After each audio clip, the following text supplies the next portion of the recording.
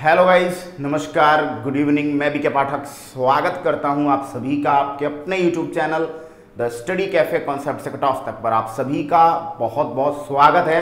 और दोस्तों, पटवार का पेपर आज आपने जो है, पहले दो चरण। भाई, पटवार का पेपर आपके चार अलग अलग शिफ्ट में हो रहा है। दो शिफ्ट आज हो गई हैं और दो शिफ्ट आपके कल होने वाली है। आज महिला जो अभ्यर्थी थी, जो फीमेल एक्सपीरियंस थे, जो फीमेल प्रतियोगी छात्र थे उन्होंने क्या किया? आज का पेपर दिया और आज के पेपर का एक एनालिसिस वीडियो हम आपके लिए अब लेकर आए हैं दोस्तों।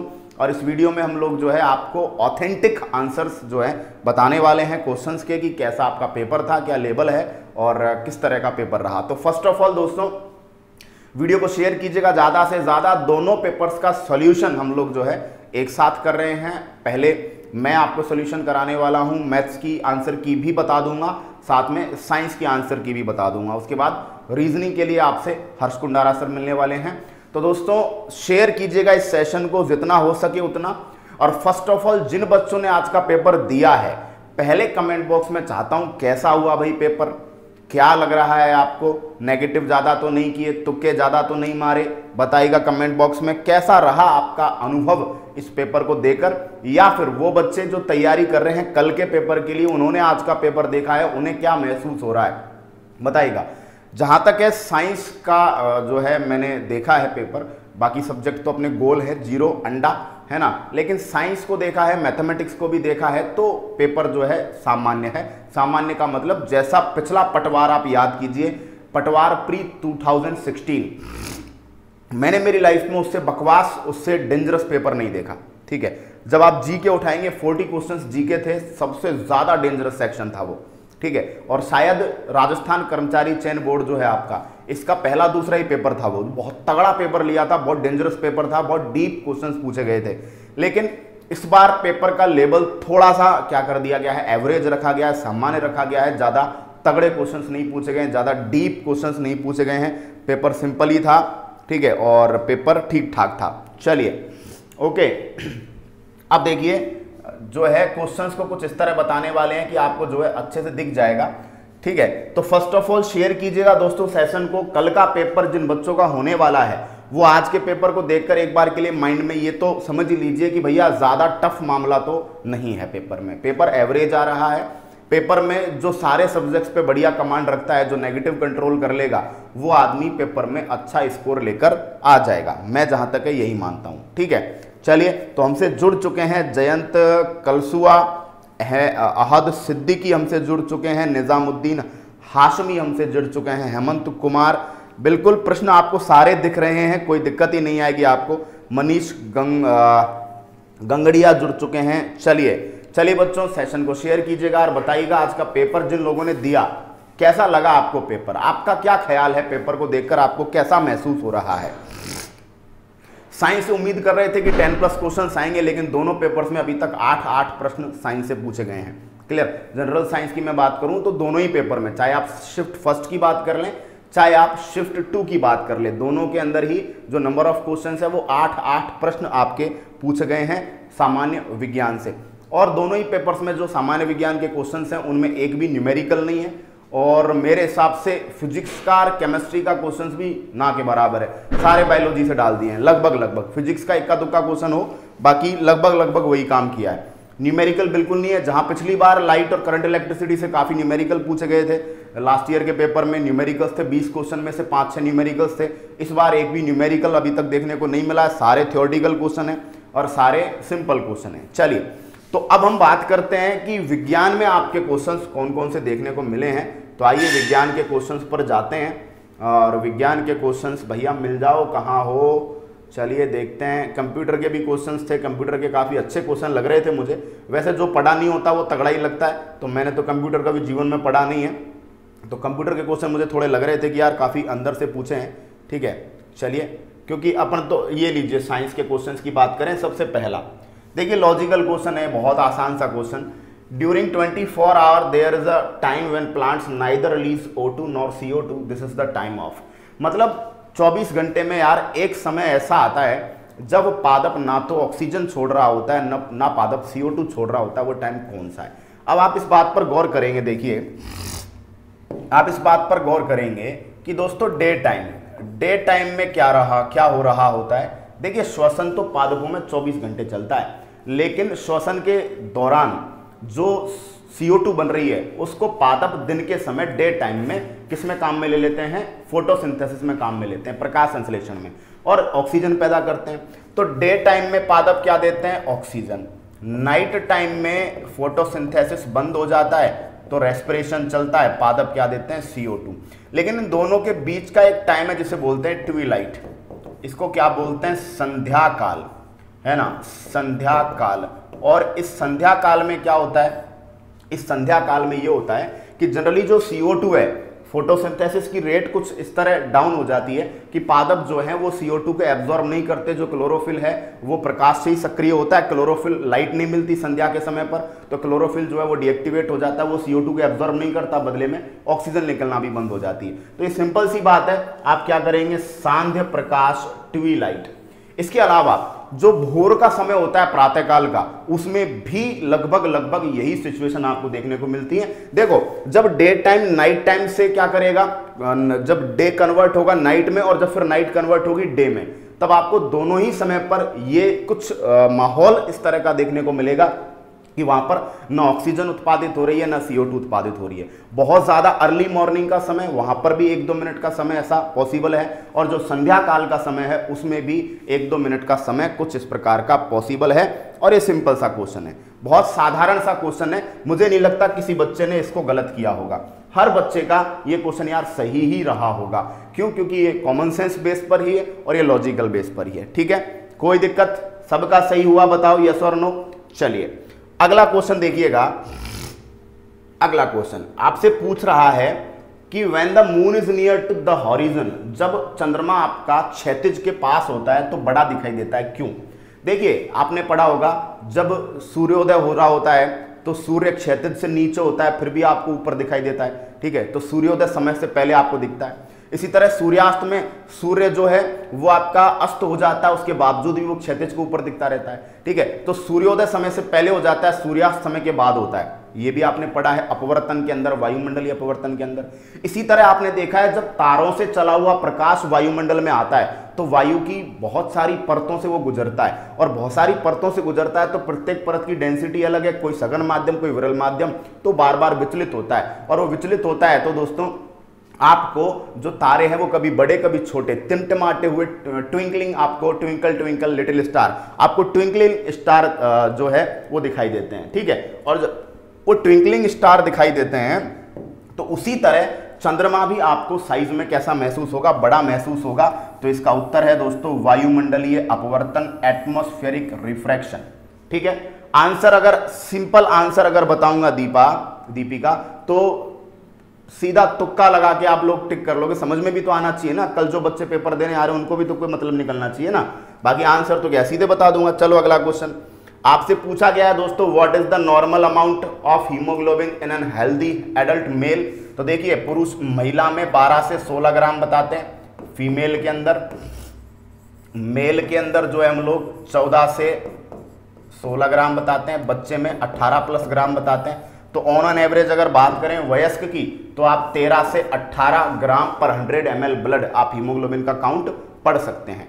कोई दिक्कत यहाँ पर? कोई प्रॉब्लम नहीं। किसी भी टाइप की कोई प्रॉब्लम नहीं होगी। बहुत ही साधारण सा क्वेश्चन है। बहुत बार पढ़ चुके हैं। अब आइए, ये तो मैंने कल ही डिस्कस किया था बॉटनी की क्लास में। अगर किसी ने पढ़ा हो तो दो तीन बार डिस्कस किया था। एपीकल्चर मधुमक्खी पालन से मिला दो। सिल्वीकल्चर फॉरेस्ट्री जंगल विज्ञान और विटीकल्चर अंगूर की खेती।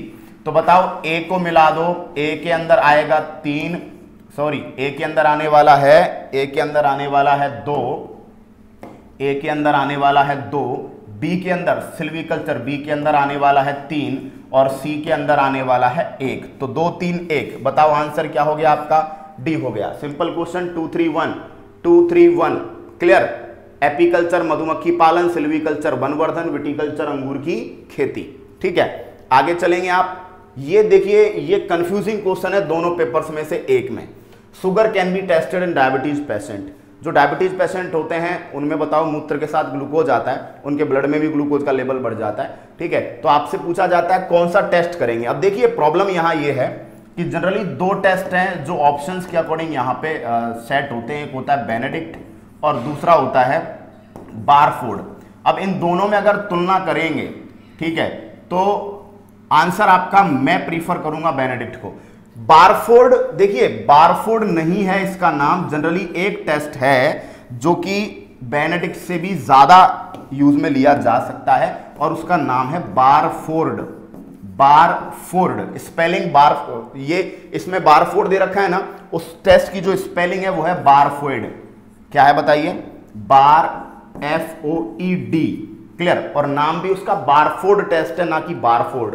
ठीक है? तो पहली बात तो कुछ लोग बारफोर्ड टेस्ट आंसर कर रहे हैं तो पहली बात तो यही समझ लो कि बेटा बारफोर्ड नाम का कोई भी टेस्ट जो है, वो शुगर के शुगर के डिटेक्शन के लिए नहीं है। जिस टेस्ट का नाम मिलता जुलता है, उसका नाम है Barfoed. Barfoed B A R F O E D ठीक है? और रही बात ये कि उत्तर आपको बेनेडिक्ट ही करना है, बेनेडिक्ट ही मानना है। अगर बारफोर्ड मान ले तो इसके ऊपर लगा देंगे क्या? इसके ऊपर आपत्ति ठोकेंगे कि बेटा बारफोर्ड नाम का कोई टेस्ट ही नहीं है, सर्च कर लो। स्पेलिंग है B A R F O E D Barfoed. ठीक है? याद रखना इस बात को। अगला है, फल पकाने के लिए जिम्मेदार। तो भैया, ये तो एथिलीन है, इस क्वेश्चन को तो पेपर में दो चाहे मत दो, बराबर है। ऐसा क्वेश्चन तो यार कभी दिक्कत करता ही नहीं है। एथिलीन, ठीक है? कोई दिक्कत बताओ। अगला क्वेश्चन देखिएगा। Vaccination has been derive from a Latin word which relates to देखिए, समझिएगा। दोस्तों वैक्सीन शब्द जो है, अगर मैं बात करूँ इस शब्द के बारे में तो ये शब्द, आपको पता है, विश्व का पहला जो वैक्सीन थी, या विश्व की जो पहली क्या थी बताइए? वैक्सीन थी, वो वैक्सीन किस रोग के लिए बनाई गई थी? चेचक के लिए। किसके लिए बनाई गई थी? चेचक। और चेचक के लिए बनाई गई थी क्लियर तो उस चेचक का नाम था स्मॉल पॉक्स देखिए smallpox in cow smallpox in cow सबसे पहली बार जो वैक्सीन बनाई गई थी एडवर्ड जेनर के द्वारा, वो गाय के अंदर दोस्तों क्या हुआ था? स्मॉल पॉक्स चेचक जो हुआ था, उसके लिए बनाई गई थी। इसीलिए इसको आप काउपॉक्स वैक्सीन भी कहते हो। और इसका जो रोगजनक था, उसका नाम था वेरियोला वैक्सीनी क्या नाम था? वेरियोला वैक्सीनी और इस वेरियोला वैक्सीनी के नाम में से ही क्या जोड़ा गया? वैक्सीन जोड़ा गया। ठीक है? तो याद रखिएगा वैक्सीन वर्ड किससे रिलेट करता है? गाय से रिलेट करता है। पहली बार जब चेचक का टीका बना तो वो काउपॉक्स के लिए बना था। गाय के अंदर स्मॉल पॉक्स की क्या थी? बीमारी थी, वो उसके लिए बना था। ठीक है? चलिए, अगर आगे बात करता हूँ मैं जनरल साइंस के क्वेश्चंस की तो देखिएगा, एक क्वेश्चन और था, जो कि सामान्य विज्ञान से पूछा गया था, और वो अभी मिल जाए। किधर गया भाई?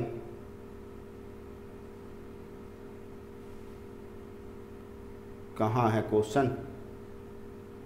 चलिए।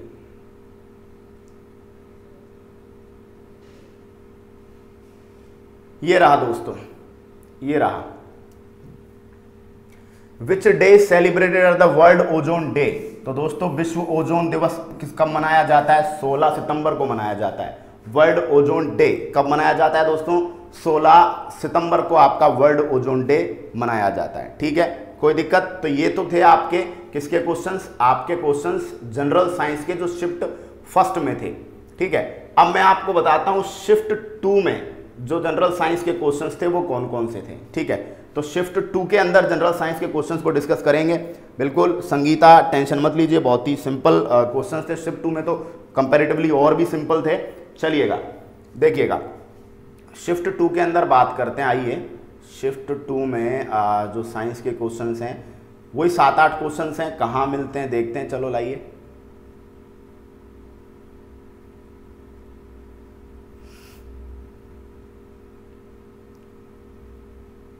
ये रहा देखो भैया।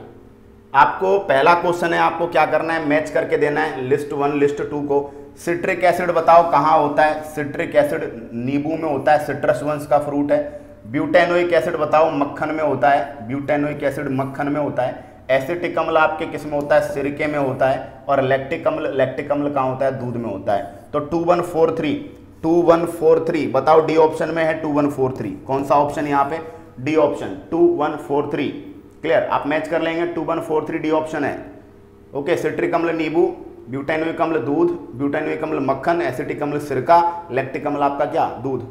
काफ़ी बार डिस्कस कर चुके हैं यार इस क्वेश्चन को तो चलिए अगला क्वेश्चन देखिएगा। अति सूक्ष्म वस्तुओं के आवर्धन के लिए, अति सूक्ष्म वस्तुओं के आवर्धन का मतलब है साइज़ बड़ा। और साइज़ बड़ा करने के लिए क्या काम में लेते हैं? माइक्रोस्कोप माइक्रोस्कोप को कहते हैं सूक्ष्मदर्शी। माइक्रोस्कोप को क्या बोलते हैं बताइए? सूक्ष्मदर्शी कहते हैं। पेरिस्कोप पेरिस्कोप तो यार परिदर्शी होती है। जो पंडुबी वगैरह होते हैं, उनमें से बाहर के हालचाल जानने के लिए पेरिस्कोप काम में लेते हैं। इलेक्ट्रोस्कोप किसी विद्युत क्षेत्र की डिटेक्शन के लिए किया जाता है। चलिए रतौंदी रतौंदी बताओ किस विटामिन की कमी से? विटामिन ए की कमी से क्या होता है बताइए? रतौंदी होता है। ठीक है? ये भी सिंपल सा क्वेश्चन है। विटामिन ए की कमी से कौन सी बीमारी हो जाएगी आपको? रतौंदी हो जाएगी। साफ़ तो दिख रहा है यार। कितना कितना क्लीन देखोगे? थोड़ा क्वालिटी बढ़ा लो गुड़िया। थोड़ा क्वालिटी बढ़ा लो। ठीक है? क्योंकि मेरे सामने भी स्क्रीन चल रही है प्रॉपर दिख पा रहा है। अगला क्वेश्चन देखिएगा। बीसीजी का टीका। यार बेसिलस कैलेमेरिटी गुरीन और बेसिलस का जो फुल फॉर्म है वो ट्यूबरकुलोसिस बेसिलस से मिलता है। तो टीबी आप इजीली इसको क्या कर डालेंगे? पकड़ डालेंगे। बीसीजी का टीका, बताइए, किस बीमारी के लिए लगता है? टीबी के लिए लगता है, ठीक है? इसके बाद किसी ने मांसपेशियों वाला टॉपिक पढ़ा हो तो वहाँ बताया था मांसपेशियाँ तीन प्रकार की होती हैं दोस्तों। कंकालीय, अकंकालीय, हृदय पेशियाँ। कंकालीय मांसपेशियाँ ऐच्छिक हैं, साथ ही साथ रेखित हैं, उनके अंदर रेखाएँ होती हैं। रेखित और ऐच्छिक। अकंकालीय जो होती है वो अरेखित और अनैच्छिक होती है।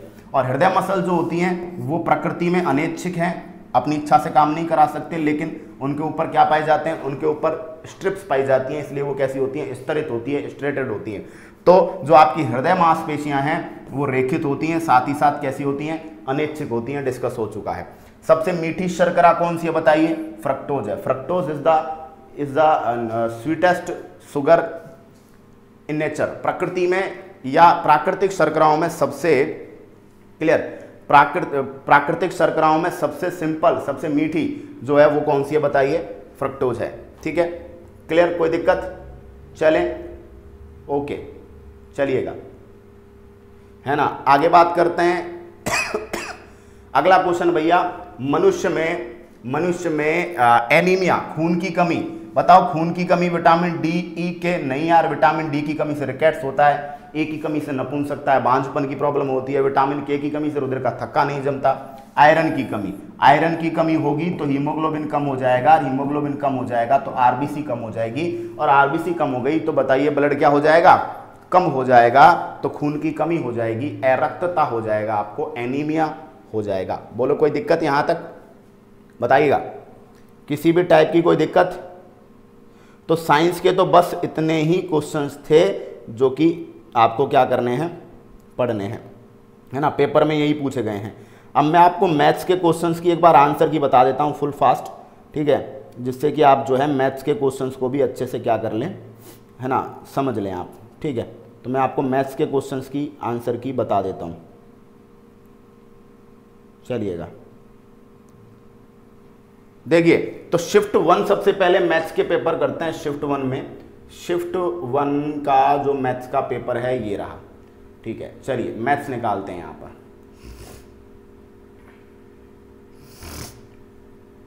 क्वेश्चन नंबर 89 से स्टार्ट है, बताइए, ये रहा 89 89 किधर गया?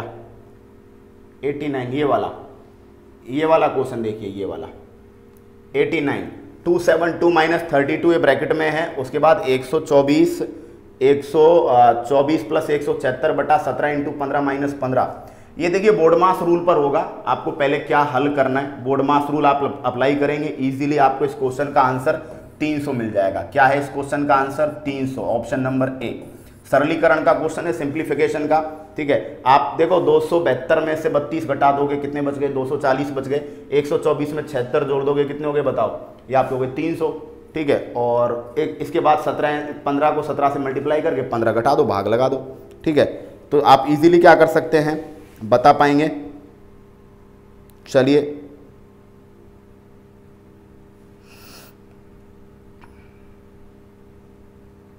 चलिए।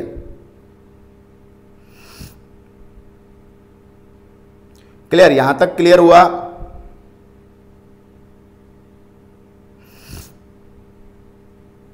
देखिएगा। अब आप देखेंगे अगला क्वेश्चन जो आपके सामने है मैथ्स का तो ये सरलीकरण का क्वेश्चन है ये तो कर ही लोगे आप। अगला क्वेश्चन मैथ्स का देखिएगा।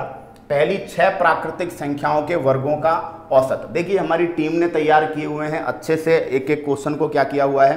चेक किया हुआ है। एक एक क्वेश्चन को हमारी टीम ने अच्छे से आ, क्या किया है? सॉल्व किया है। सॉल्व करके जो आंसर है वो आपको बताए जा रहे हैं। तो नाइनटीथ जो क्वेश्चन है इसका आंसर आने वाला है पंद्रह पॉइंट सत्रह। कितना आने वाला है? शुरुआत की छह जो आपकी प्राकृतिक संख्याएँ हैं, इनके वर्गों का औसत आपका कितना आने वाला है? 15.16 15.16 आपका ये है, आने वाला है। इसके बाद दोस्तों, अगला क्वेश्चन है, एक बैग में एक रुपया पचास पैसा, पच्चीस पैसे के सिक्के हैं। सिक्कों की संख्या जो है वो 2.5 रेशो थ्री रेशो फोर के अनुपात में है। कुल राशि आपके पास 420 है। तो 50 पैसे के सिक्कों की संख्या आपको क्या करनी है दोस्तों? बतानी है। और इसका जब आप आंसर निकालेंगे तो आपका आंसर आने वाला है डी 252 आपका इसका क्या आने वाला है? आंसर आने वाला है। बच्चों सेशन को शेयर कीजिएगा और बताइएगा, क्या आपने यही आंसर किया है पेपर में? बताइएगा, क्या आपका आंसर यही रहा है पेपर के अंदर? बताइएगा। साथ में साथ सॉल्व भी कीजिएगा। आंसर आपका क्या आने वाला है? डी अगला क्वेश्चन देखिएगा, एक बेलनाकार पात्र है भैया। एक बेलनाकार पात्र है जिसकी रेडियस चार सेंटीमीटर है। पानी से ये भरा हुआ है। एक ठोस गोला जिसकी त्रिज्या तीन सेंटीमीटर है, को पानी में तब तक डाला गया जब तक कि वह पूरा डूब नहीं गया। पानी में, पात्र में पानी का स्तर कितना बढ़ जाएगा? भाई साहब, देखा जाए तो मुझे तो हवा हाथ नहीं लग रही इस क्वेश्चन की, क्योंकि मैथ्स में इतना ही पता है। लेकिन फिर भी यह है कि बेलनाकार पात्र है, त्रिज्या चार सेंटीमीटर है, वो पानी से भरा, उसके अंदर तीन सेंटीमीटर रेडियस का कोई गोला डाल दिया। अब तो सिंपल सी बात है, भरे हुए पात्र में आप कुछ डालोगे तो बताओ बगल में पानी निकलेगा, ठीक है? तो या फिर पानी का स्तर बढ़ जाएगा, कितना बढ़ा? तो इसका जो उत्तर है, वो आपका आने वाला है nine by four C M कितना आएगा? Nine by four C M option number A आपका nine by four C M क्या आने वाला है? इसका करेक्ट आंसर आने वाला है, ठीक है? अगला देखिएगा। यदि एक आदमी प्रति माह यदि एक आदमी प्रति माह आठ सौ पचहत्तर रुपये खर्च करता है और अपनी आय के साढ़े बारह परसेंट की क्या करता है दोस्तों? बचत करता है। आदमी है प्रति माह आठ सौ पचहत्तर रुपये खर्च करेगा और अपनी आय के साढ़े बारह परसेंट की वो क्या कर लेगा? बचत कर लेगा। उसकी मासिक आय बताइएगा कि भैया वो मंथली कितने रुपए कमा रहा है? हज़ार, ग्यारह सौ ग्यारह सौ दस, एक हज़ार दस। अब नॉर्मल आदमी तो सोचे, सर, ये भी किसी की मंथली इनकम होती है क्या? कोई सा ही नहीं होगा इसमें से तो। मंथली इनकम होती है क्या इतनी? हज़ार रुपये क्या ही करेगा कमा के? लेकिन यार क्वेश्चन है क्वेश्चन को क्वेश्चन मान के करना होता है। तो इसका उस आंसर जो जाएगा, वो कितना जाएगा? हज़ार रुपए। इसका क्या चला जाएगा बच्चों? आंसर चला जाएगा कितने रुपए? हज़ार रुपए की मासिक जो है, कमाई है, जिस बंदे के बारे में ये बात की जा रही है। ठीक है? चलिए, है ना? मतलब बात वही है आठ सौ पचहत्तर रुपये खर्च कर दिए। टोटल इनकम का साढ़े बारह परसेंट की क्या कर रहा है? बचत कर रहा है। तो सिंपल सी बात है, एक सौ पच्चीस रुपये बचाए, वो एक सौ पच्चीस रुपये हज़ार का कितना परसेंट है? साढ़े बारह परसेंट है। ये तो मुझे भी समझ में आ गया, है ना? चलिए, अगला क्वेश्चन देखेंगे आप। साधारण ब्याज पर एक निश्चित धनराशि 20 वर्ष में तिगुना हो गई। इसी साधारण ब्याज पर कितने वर्ष में दुगनी हुई होगी? तो सिंपल सी बात है 20 से तो कम रहा होगा, लेकिन चारों ऑप्शन ही 20 से कम है। अपन तो यही जुगाड़ लगाते हैं साइंस में। कई बार ऐसा जुगाड़ लगाते हैं कि इतना, इतने से तो कम आएगा आंसर। कई बार ऑप्शन में वही मिलता है, काम हो जाता है, लेकिन यहाँ एग्जामिनर सियाणा निकला। उसने सारे आंसर बीस से कम दिए हैं। तो बच्चों, साधारण ब्याज लगाया, राशि है जो 20 वर्ष में क्या हो गई? दुगनी हो गई। इसी साधारण ब्याज पर कितने टाइम में ये 20 वर्ष में दुगनी हो गई? तो कितने टाइम में दुगनी हो जाएगी? दोस्तों, इसका जो आंसर है आपके सामने, वो दोस्तों ए है।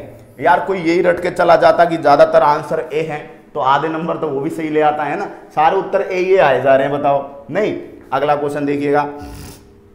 दो क्वेश्चन देखिए, ब्याज से आ चुके हैं। चक्रवृद्धि ब्याज पर यदि निश्चित धनराशि एन वर्ष में दुगना हो जाती है तो कितने वर्ष में चार गुना हो जाएगी? तो दोस्तों, इसका आंसर जो है, वो आपके टू एन आने वाला है। अगर एन साल में धनराशि क्या हो जाती है? दुगनी हो जाती है तो दोस्तों, टू एन के अंदर, टू एन साल में वो क्या हो जाएगी? वो दोस्तों, चार गुना हो जाएगी। बढ़िया क्वेश्चन है। डेटा याद रखिएगा, रिपीट हो सकता है। यदि 45 मीटर की एक समान छड़ का वज़न एक सौ किलोग्राम है तो उसी तरह की 14 मीटर छड़ का वज़न कितना होगा? मैं जहाँ तक मानता हूँ, ये तो वही है, चूँकि 45 मीटर बराबर है एक सौ इकहत्तर किलोग्राम के तो 12 मीटर बराबर होगी कितने के? मेरे हिसाब से ऐसे ही अप्लाई होने वाला है, ठीक है? तो आप उत्तर क्या करेंगे? 96 96 में अगेन उत्तर ए 45.6 किलोग्राम आपका क्या आने वाला है? उत्तर आने वाला है। कितना उत्तर आएगा? 45.6 किलोग्राम। ठीक है? अगला क्वेश्चन देखेंगे आप। एक व्यापारी ने 12 प्रतिशत छूट के साथ 13,560 में मोबाइल बेच दिया भाई साहब। है ना? कोई ओप्पो वीवो का मोबाइल होगा इतने में बिकता ही है। है ना? व्यापारी ने 12 परसेंट छूट के साथ बेचा मोबाइल और वो कितने में बेचा? तेरह हज़ार पाँच सौ साठ में। और उसने लाभ कमाया कितने का? 21.8 प्रतिशत लाभ लिया। यदि छूट बिल्कुल नहीं देता वो तो कितना परसेंट लाभ लेता? बड़ा डेंजर क्वेश्चन है यार। 12 परसेंट छूट दे दी, तभी 21 पर 21.8 परसेंट लाभ ले लिया उसने। अगर वो 12 परसेंट की छूट देता नहीं, फिर तो भाई साहब मज़े आ जाते, इसका जीवन सफल हो जाता, है ना? बहुत फ़ायदा ले जाता। अब कितना फ़ायदा ले जाता? तो दोस्तों, ये बात की जा रही है 38.4 परसेंट का ये क्या ले जाता? फ़ायदा 38.4 परसेंट। सॉल्व करने के लिए आराम से सॉल्व करिएगा, जब पेपर आपको सॉल्व करा दें यहाँ पे। उसके बाद अच्छे से घर पे सॉल्यूशन कर लीजिएगा। चले आगे। अगला क्वेश्चन लाभ हानि के क्वेश्चन चल रहे हैं। अगला क्वेश्चन ये रहा, यदि 10 वस्तुओं की लागत कीमत सात वस्तुओं की विक्रय कीमत के बराबर है, अरे 10 वस्तुओं का क्रय मूल्य सात वस्तुओं के विक्रय मूल्य के बराबर है, ऐसी बात चल रही है तो लाभ प्रतिशत बताइए। दोस्तों, उत्तर आपका आ रहा है यहाँ पर, बयालीस सही छह बटा सात परसेंट। कितना आ रहा है? बयालीस सही छह बटा सात परसेंट। बात समझ में आ गई। क्लियर सॉल्यूशन करके जो है हमारी टीम ने ये क्वेश्चंस तैयार किए हैं। भाई, इनका आंसर जो है ऑथेंटिक है प्रॉपर तरीके से क्या किया गया? बहुत सिंपल क्वेश्चन है, बहुत ही सिंपल है ना? नाइनटी नाइन क्वेश्चन जो है, आठ भाग चार ब्रैकेट तीन माइनस दो into four plus three minus seven सरलीकरण। और सरलीकरण है तो वही है बोर्ड मास का रूल लगाइए और अपने जीवन को सफल बनाइए। उत्तर क्या आने वाला है? चार आने वाला है। आंसर इज़ फोर उत्तर क्या आएगा? चार आएगा। ठीक है? चलिए अगला क्वेश्चन देखेंगे आप। अगला क्वेश्चन आपके सामने है, एक आयत की लंबाई तथा चौड़ाई के बीच तेबीस मीटर का अंतर है। लंबाई और चौड़ाई में कितने का गैप है? तेबीस मीटर का। और परिमाप कितना है दोस्तों? 206 मीटर है। परिमाप होता है ना परिधि? 206 मीटर है। इसका क्षेत्रफल आपसे पूछा गया है, ठीक है? तो आप क्या कर देंगे? आप कर देंगे जो है, अरे यार ये ऐसे दे रखा है, देखा जाए तो। देखो, टू ए प्लस बी की वैल्यू। अरे परिमाप क्या होता है? Two A plus B. इसकी वैल्यू क्या है? 206 परिमाप आयत का ऐसे होता है ना? ओके ये लंबाई है। लंब, चौड़ाई को बी मान लो, लंबाई को ए मान लो। तो दो ए दो बी तो टू ए प्लस बी की वैल्यू क्या है? 206 है। और दोनों का अंतर, लंबाई, चौड़ाई का अंतर ए माइनस बी की वैल्यू क्या है? तेबीस है। आपको दोनों यहाँ से पता चल जाएगी जब आप इसको सॉल्व करोगे। और दोनों पता चल जाए तो दोनों को मल्टीप्लाई करके क्या निकाल लो? एरिया निकाल लो। ठीक है? तो 100 क्वेश्चन में आंसर क्या आने वाला है? सी आने वाला है। 2520 स्क्वायर मीटर 2520 मीटर स्क्वायर इसका क्या होने वाला है? एरिया दोस्तों इसका होने वाला है कितना? 2520 मीटर स्क्वायर। ठीक है? आगे क्वेश्चन देखिएगा, आपके सामने आ रहा है। एक आयत की लंबाई को 10 परसेंट बढ़ा दिया। कहाँ गया? कहाँ गया? ये रहा। हाँ आयत की लंबाई को 10 परसेंट बढ़ा दिया, चौड़ाई को 10 परसेंट बढ़ा दिया, क्षेत्रफल कितना बढ़ेगा? अरे यार, एक बात बताओ पहले मान लो 10 10 थी तो क्षेत्रफल कितना होगा? 10 ढाई सौ। अपन तो ऐसे ही करते हैं, देखो। अभी 10 10 परसेंट बढ़ा दिया, कितनी हो गई? 11 11 11 को 11 से मल्टीप्लाई कर लो, कितनी हो गई? 121 हो गई, है ना? यार, ऐसी बात है क्या? अच्छा घटा दिया घटा दिया, फिर मुझसे नहीं होगा, है ना? बढ़ा देता तो मैं कर लेता। या फिर कर दूँ, इसको भी बताओ। पहले 10 इंटू दस, मान लो पहले एरिया कितना था? 100 अब लंबाई को बढ़ा दिया एक 10 परसेंट तो 10 की जगह हो गया 11 और चौड़ाई को घटा दिया 10 परसेंट हो गया 9 बताओ कितना हो गया? निन्यानवे, बताओ कितने परसेंट कम हो गया? पहले की तुलना में। एक परसेंट घट गया। अरे आती है इतनी मैथ तो यार। इतनी मैथ तो हमें भी आती है। तुम सोच रहे हो गुरु जी को साइंस ही साइंस आती है? अरे थोड़ी बहुत मैथ भी आती है है ना? चलें। ओके। क्वेश्चन नेक्स्ट देखिएगा। क्या कह रहा है? क्वेश्चन नेक्स्ट देखिएगा। 102 यदि केले की कीमत को 20 परसेंट घटाया जाता है, यदि केले की कीमत को 20 परसेंट क्या किया जाता है? घटाया जाता है तो उसी राशि उसी राशि से, उसी राशि दस रुपये में पाँच केले अधिक खरीदे जा सकते हैं। एक केले की प्रारंभिक कीमत बताइएगा। एक केले की प्रारंभिक कीमत बताइएगा। बताओ भैया, पैंसठ पैसे, पचपन पैसे, पचास पैसे।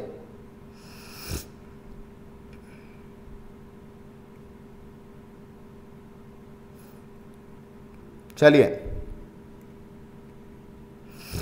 बताइएगा भैया जल्दी से। तो दोस्तों if the price of a banana is decrease by twenty percent five bananas more can be purchase for the same amount rupees ten है ना? दस रुपए में कोई चीज़ खरीद रहे हो। आपने बीस बीस परसेंट रेट घटा दी। उसके बावजूद भी, दोस्तों क्या हो रहा है? उसके बावजूद आप जो पाँच बनाना ज़्यादा खरीद सकते हो तो बनाना की प्रारंभिक प्राइस क्या रही होगी? तो दोस्तों, ये रही पचास पैसे। आठाना, अठन्नी का क्या है? एक है। आठाना का एक है। बताइए, ठीक है भैया?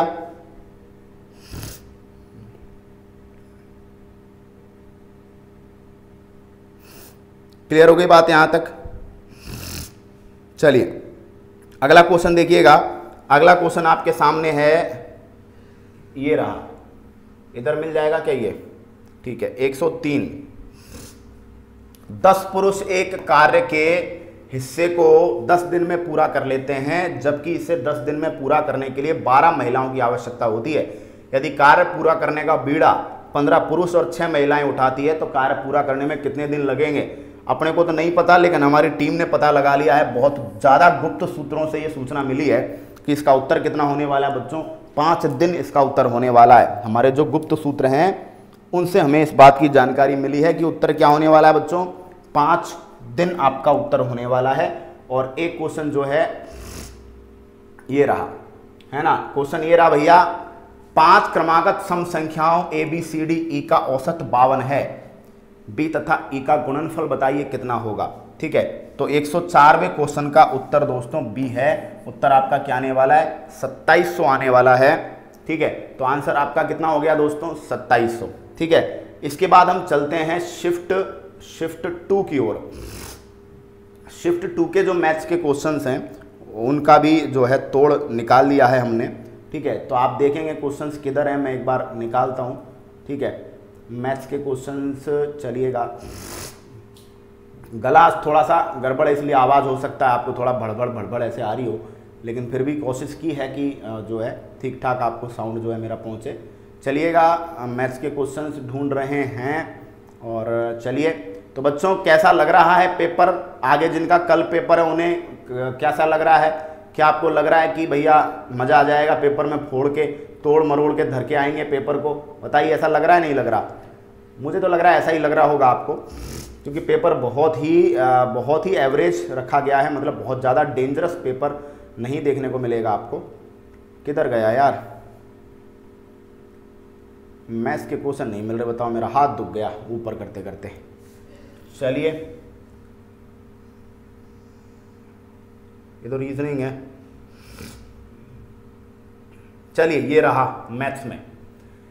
हाँ यदि रुपए तिरपन धनराशि को पी क्यू और आर के बीच में बांटें, ठीक है, और इस प्रकार बांटें कि पी को क्यू से सात रुपया ज़्यादा मिले और क्यू को आर से आठ रुपया ज़्यादा मिले मतलब सबसे ज़्यादा रुपए पी को मिलेंगे, है ना? सिंपल सी बात है ये।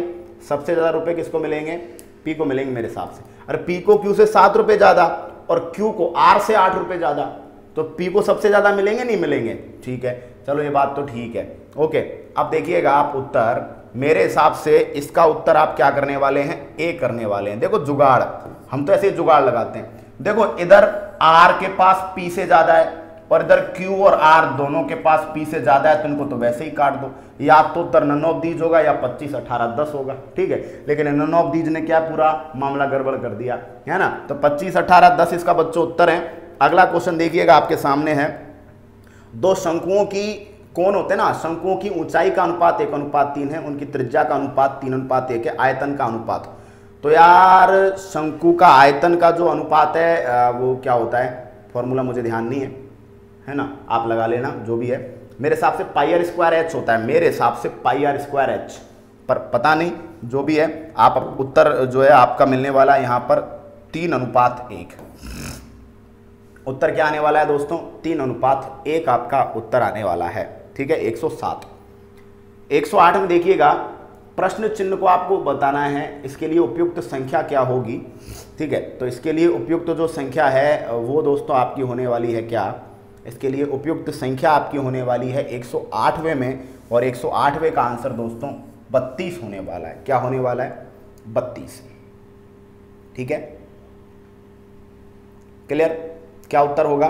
32 अगला 109वां सरलीकरण का क्वेश्चन है। 48 में से 12 घटाओ, तीन से मल्टीप्लाई करो, नौ। वही बोर्ड मास लगेगा और बोर्ड मास लगेगा तो 109 का उत्तर आपका क्या आने वाला है? सात बट्टा तीन। सेवन बाई थ्री, सात बट्टा तीन।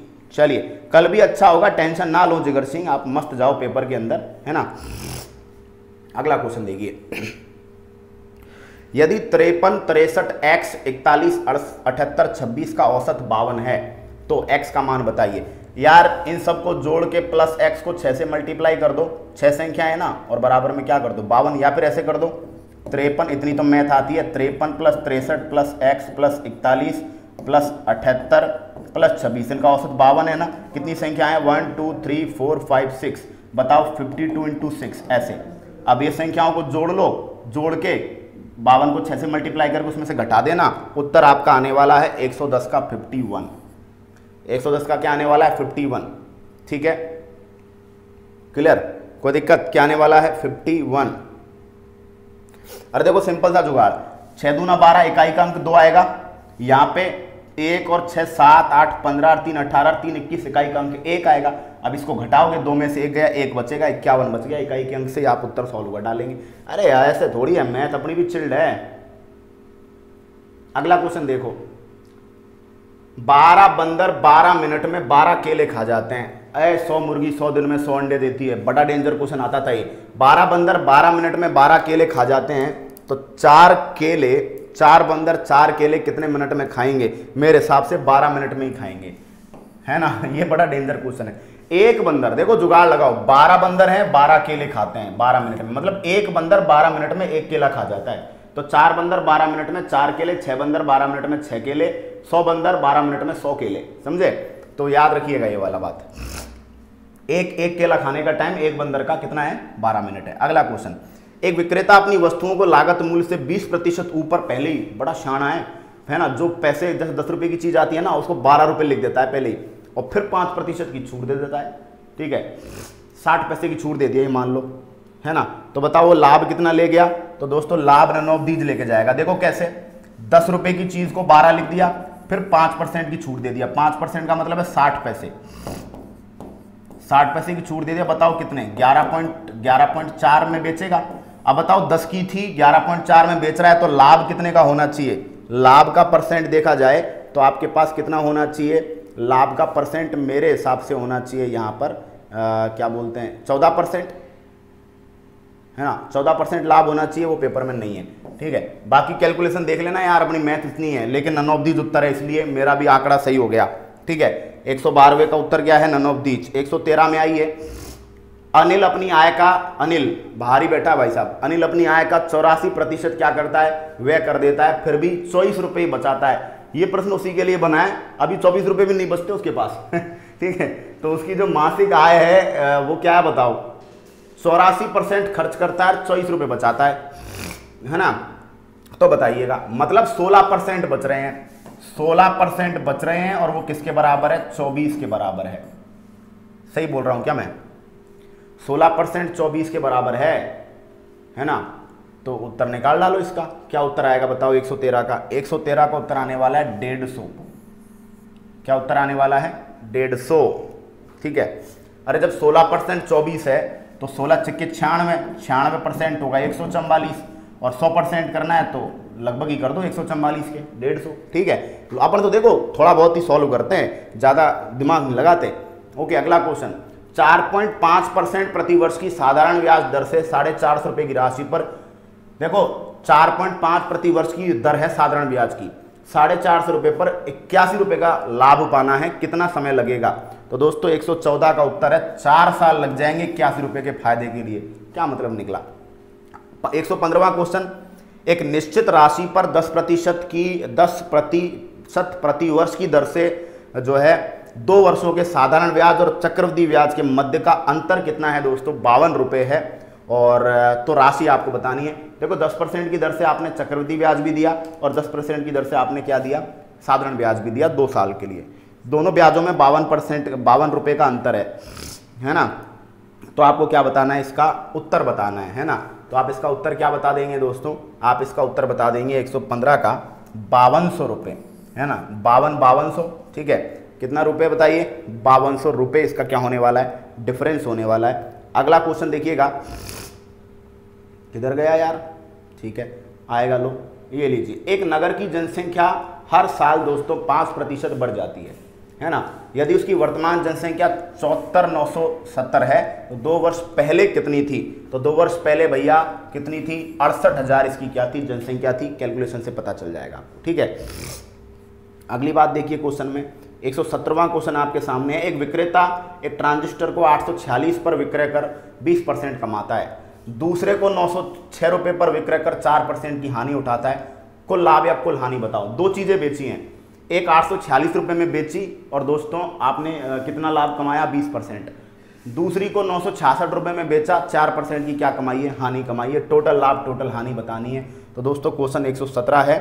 और इसका जो है उत्तर अभी तक टीम देख ही रही है, अभी मिल नहीं पाया। उत्तर मिल जाएगा आपको, बता दिया जाएगा अदरवाइज़ आप ढूंढ लीजिएगा, ठीक है? तो 117 का उत्तर जो है, अभी तक सॉल्व नहीं हो पाया क्वेश्चन पता नहीं क्या लफड़ा है। वैसे सिंपल ही है क्वेश्चन तो चलो कोई नहीं, इसको जो है कुंडारा सर आपको रीजनिंग की क्लास में बता देंगे सॉल्व करके, ठीक है? चलिए, इसके बाद है आपके सामने एक क्वेश्चन और ये है दोस्तों आपका बोर्ड मास पर, और बोर्ड मास पर जो क्वेश्चन है, इसका जो आंसर है आपका कितना? चौदह, ठीक है? 119 एक आयत का क्षेत्रफल दो सौ बावन सेंटीमीटर स्क्वायर है। उसकी लंबाई और चौड़ाई क्रमशः नौ अनुपात सात के अनुपात में है। परिमाप बताना है यार। तो परिमाप 119 में आपका उत्तर क्या चला जाएगा? चौंसठ सेंटीमीटर आपका क्या चला जाएगा? उत्तर चला जाएगा। कितना? 64 सेंटीमीटर आपका आंसर होगा। ठीक है? चलें अगला क्वेश्चन। दो तीन क्वेश्चन ही बाकी हैं भैया। एक आयताकार पानी की टंकी 8 मीटर ऊँची 6 मीटर लंबी और 2.5 मीटर चौड़ी है आयतन। तो मेरे हिसाब से आयतन के लिए तो आ, क्या करते हो आप? आयतन के लिए आयताकार पानी की टंकी है आठ मीटर ऊँची और छः मीटर लंबी और दो पॉइंट पाँच मीटर चौड़ी है। तो यार हम तो लंबाई गुना चौड़ाई गुना ऊंचाई करते हैं ये पता नहीं क्या कर रहा है। लंबाई प्लस चौड़ाई इंटू चौड़ाई गुना ऊंचाई ऐसे होता है ना लंबाई लंबाई प्लस चौड़ाई इंटू चौड़ाई प्लस ऊंचाई इंटू ऊंचाई प्लस लंबाई ऐसे कुछ होता है शायद। ध्यान नहीं है मुझे है ना? लेकिन एक सौ का उत्तर आपका क्या होने वाला है? एक लाख बीस हज़ार लीटर। क्या होने वाला है दोस्तों? एक लाख बीस हज़ार लीटर आपका उत्तर होने वाला है। ठीक है? अगला क्वेश्चन आपके सामने है। आ, यदि किसी संख्या का 200 परसेंट नब्बे है तो उसी संख्या का 80 परसेंट कितना होगा? अब 200 परसेंट नब्बे है इसका मतलब वो संख्या 45 है। है ना? अरे किसी संख्या का 200 परसेंट डबल हो गया, ठीक है? तो वो संख्या कितनी हो गई? 45 है ना? अब उसका 80 परसेंट तो 45 का 80 परसेंट तो 36 होता है मेरे हिसाब से। है ना? सही है? अरे, ऐसे थोड़ी कैलकुलेशन सॉलिड है अपनी। अगला क्वेश्चन देखिएगा। अगला क्वेश्चन जो है वो अभी स्किप कर रहे हैं, बाद में आपको बताएँगे कुंडारा सर, ठीक है? एक सौ क्वेश्चन है, निम्न प्राप्तांकों के सेट का औसत। लास्ट क्वेश्चन है अपना, जो अभी मैं आपको सॉल्व करवा रहा हूँ। ठीक है? निम्न प्राप्तांकों के सेट का औसत बताइएगा, नौ सौ छियासठ। अरे यार, ये भी कोई क्वेश्चन है, बताओ पटवार की एग्ज़ाम में देने के लिए। आप क्या कर दीजिएगा? आप दोस्तों, सारी संख्याओं को जोड़ के, जितनी संख्या उसका भाग लगा दीजिएगा। उत्तर आपका क्या आने वाला है? चार सौ छिहत्तर आपका यहाँ पर उत्तर आने वाला है। कितना उत्तर आएगा दोस्तों? चार सौ छिहत्तर। तो बच्चों, बताइएगा मुझे, कैसा आपको पेपर लग रहा है? और कैसा आपको लग रहा है कि कल का जो दिन है वो आपका कैसा होने वाला है और कल आप पेपर को किस तरह फोड़ने वाले हैं और मैथ्स और साइंस का जो सोल्यूशन है, वो मैंने आपको करवाया है। इक्का दुक्का क्वेश्चन है, वो स्किप किया है अभी, क्यों? क्योंकि देखिए, पेपर अभी अभी आया ही हमारे पास, ठीक है? तो पेपर आया, तुरंत से सोल्यूशन कराने लग गई है, टीम तुरंत से सोल्यूशन करने लग गई है। तो हम नहीं चाहते कोई भी गलत डेटा जाए, ठीक है? और जितने भी क्वेश्चन आपको बताए गए हैं, मैं जहाँ तक मानता हूँ कि जो है है ना, जो सारे के सारे सही ऑथेंटिक हैं और इसी बीच तालियों की तालियों की गड़गड़ाहट के बीच आपके बीच पधार चुके हैं रीजनिंग थंडर रीजनिंग लीजेंड सुबह से पेपर सॉल्यूशन करवा रहे हैं चौदह घंटे से अपने हर्ष कुंडारा सर और पधार चुके हैं। बड़ी बेसब्री से मैं उनका इंतज़ार कर रहा था कि वो आएँ और रीजनिंग से संबंधित प्रश्नों का जो आपका डर है, आपका जो डाउट है, उसको सॉल्व कर दें और पटवार एग्ज़ाम में जो रीजनिंग के पेपर्स में जो क्वेश्चंस आए हैं, वो क्वेश्चन जो है आपको क्या करा दें? सॉल्व करवा दें। तो चलिए भाई, राम राम भाई, सभी लाडे सरो लाडो रानियों का स्वागत, अभिनंदन मेरे प्यारे भावी पटवारियों का, हृदय की गहराइयों से। तो आज क्या खोपड़ी में छेद कर दिएगा बेटा? रीजनिंग के सवालों को बर्बाद कर दिया होगा, ले गए होंगे काली घाटी के पीछे। तो बेटा, अगले एक से डेढ़ घंटे तक तुम मेरे साथ रहोगे, बिल्कुल कतई जहर के जैसे मैं तुम्हारा पूरा मौसम बढ़ा दूँगा बेटा। ठीक है?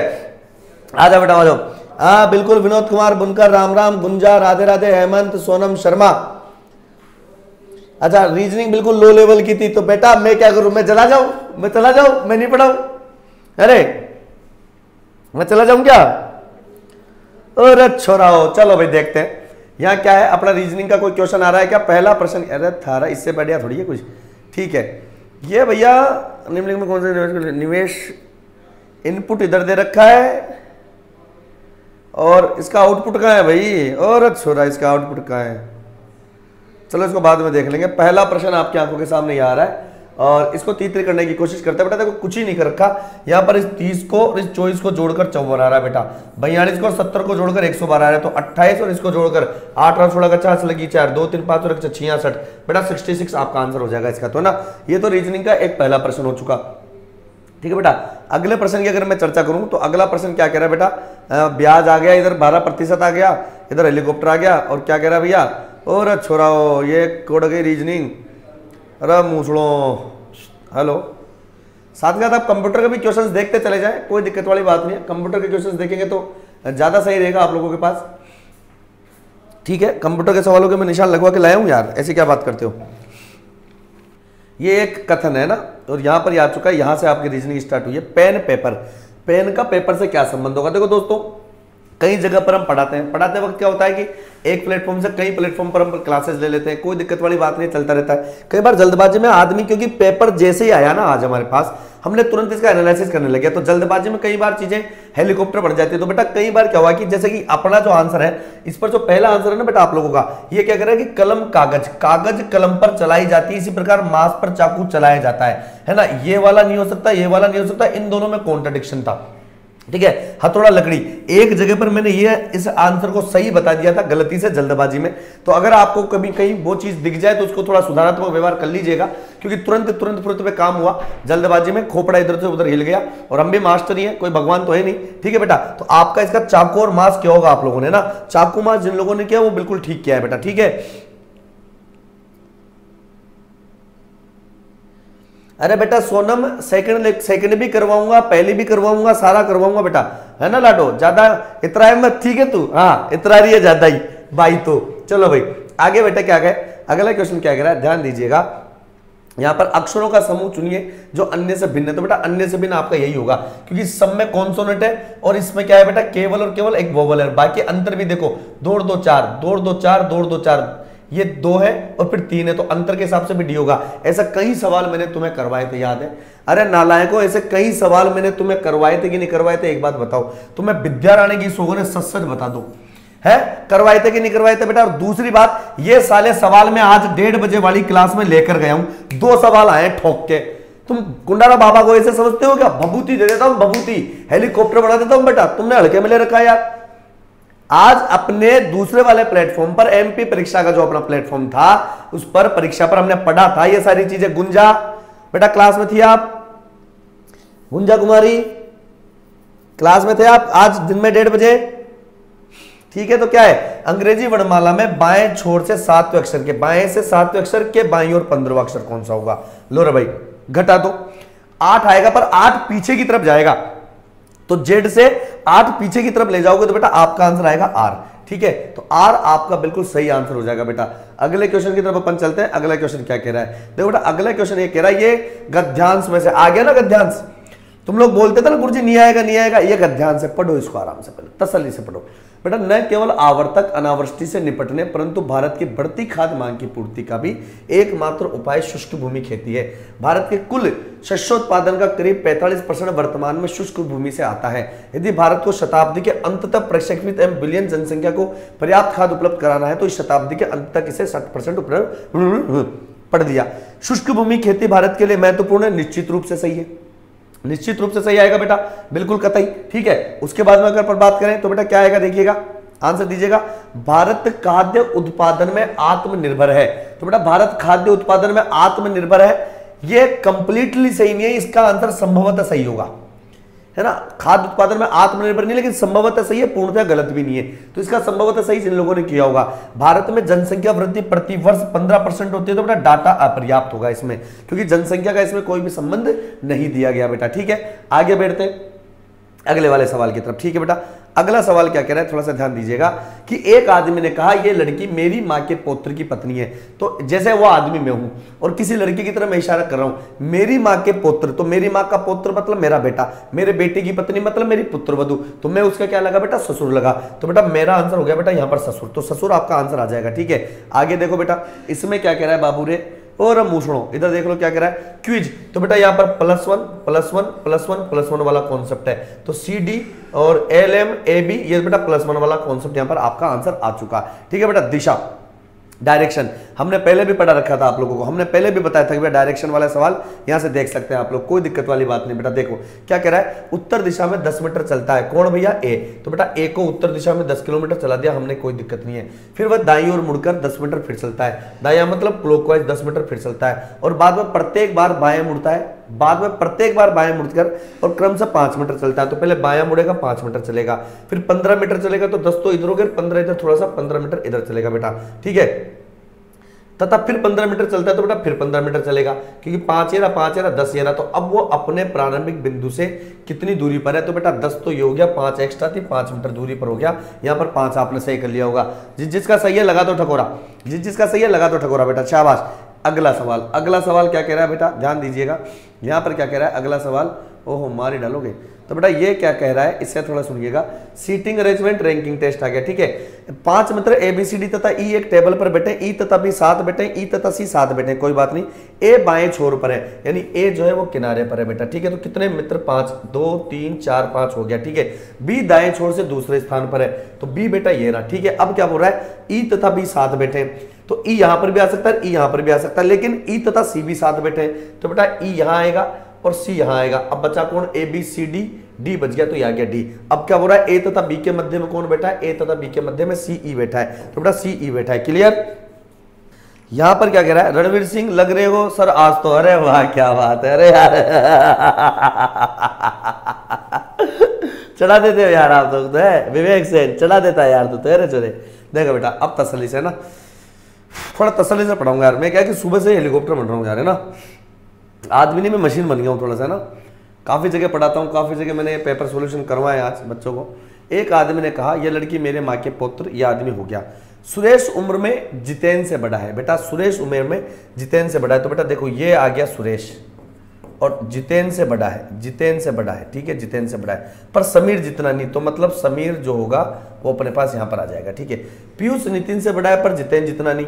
तो बेटा मतलब पीयूष यहाँ पर आ जाएगा और यहाँ पर कितना आ जाएगा बेटा? जितेन आ जाएगा। यहाँ पे नितिन आ जाएगा, नितिन। तो अब क्या कह रहा है कि उनके सबके बीच में कौन होगा? तो बीच में बेटा जितेन होगा। जितेन आप अपना आंसर कर दीजिएगा, कोई इशू वाली बात नहीं, ठीक है। आगे देखो जितेन आ जाएगा बेटा सी। यहाँ देखो। यहाँ पाँच मीटर चला दिया, यहाँ पर क्या होगा बेटा? इसको समझाए तो समझो। अपने बाप का क्या जाता है? सबसे पहले बीज आएगा। बीज के बाद पौधा बनेगा। पौधे के बाद फल आएगा। उसके बाद खाद्य। खाद नहीं है, खाद्य, खाने का काम। चौथा नंबर सी ऑप्शन है ना? हाँ। कहीं तुम खाद बोल दो, क्योंकि एक बार मैं भी कंफ्यूज हो गया था। यहाँ देखो बेटा, यहाँ पर भी बड़ा प्यारा प्रश्न आया देखो क्या कह रहा है। तो बेटा एक्स है, चौबीस माइनस दो। या माइनस के कितना आ जाएँगे? तीन। या माइनस दो। माइनस के तीन और माइनस के दो आ जाएगा एल तो बेटा एल जिसका आंसर होगा वो सही होगा। यहाँ पर देखो बेटा, यहाँ पर भी बात वही है। यहाँ पर अंतर देखो। प्लस चार प्लस चार प्लस चार प्लस चार। Plus four plus four plus four plus four. Then plus चार प्लस चार प्लस चार। तो भैया सत्रह और चार, इक्कीस। इक्कीस का यू। यहाँ पर आपका ये आंसर हो गया, ठीक है? अब क्या बोल रहा है बेटा? डी के पिता बी का बेटा। यहाँ पर भी देखना, बहुत प्यारा सवाल है। डी के पिता बी का बेटा है। डी का पिता। डी का कोई पिता है, वो क्या है? बी का बेटा है। तो बी का बेटा है तो बेटा बी का बेटा हो जाएगा, ठीक है? डी का पिता, ठीक है? सी डी का अंकल है, जो सी है, वो डी का अंकल है तो बेटा सी यहाँ पर आएगा, इसके बाप का भाई होगा। और ए बी का भाई है, और जो ए है, वो बी का भाई है तो लो ए बी का भाई हो गया, ठीक है? ए सी से किस प्रकार संबंधित है? तो बेटा ए सी का क्या लगेगा? ये इसका भाई है, ये इसका बाप और मम्मी हो सकता है तो अंकल लगेगा। बेटा आंसर इसमें अंकल आएगा, बेटा सेवनटी नाइन में अंकल कर लियो भैया। ओ लल्ला, अंकल कर लियो और छोड़ो छोड़ो अंकल। हाँ यहाँ पे अंकल कर लेना भैया, ठीक है? आगे बढ़ते हैं, चलिए। संगीत गिटार। संगीत का संबंध किससे है? गिटार से। तो पानी का टंकी से, कलम का पेंसिल से, शब्द का वर्ड प्रोसेस से होगा। बेटा शब्द का वर्ड प्रोसेस होगा ना। गिटार से संगीत निकलता है तो वर्ड प्रोसेसर में शब्द होता है। वर्ड प्रोसेसर में शब्द होता है ना। पेंसिल से कलम, पानी से टंकी मतलब टंकी से पानी निकलती है। वाह भाई, सही बात है। इस लाला ने भी बहुत बढ़िया काम किया है भैया ना। वर्ड प्रोसेसर से शब्द निकलेगा बेटा, ठीक है? तो यहाँ पर यह आंसर आ जाएगा बेटा, डी आंसर आएगा। क्लियर है?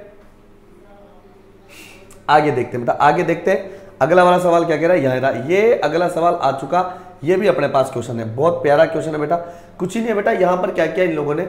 इसने क्या करा? एस ओ यू पी और एस लिख दिया। अब इसको क्या लिखा बेटा? एस पी यू और एस लिखा। इस कोने को इस कोने पर, इस कोने को इस कोने पर, इस कोने पर, इस कोने पर। ये क्रॉस कोडिंग है। मैंने तुम्हें बताया था, पढ़ाया था। क्रॉस कोडिंग मिल जाएगा।